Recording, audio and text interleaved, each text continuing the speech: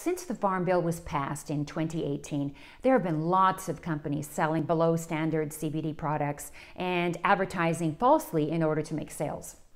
It may have made them lots of money, but it's left many pet owners in despair and, and lost for answers. At Honest Paws, we want to provide high quality products and educational pathways so you can make educated and smart choices when it comes to supporting animals. We understand how easy it is to get caught up in the marketing jargon, and that's why we've put all of that aside so we can focus on the well being of the animals.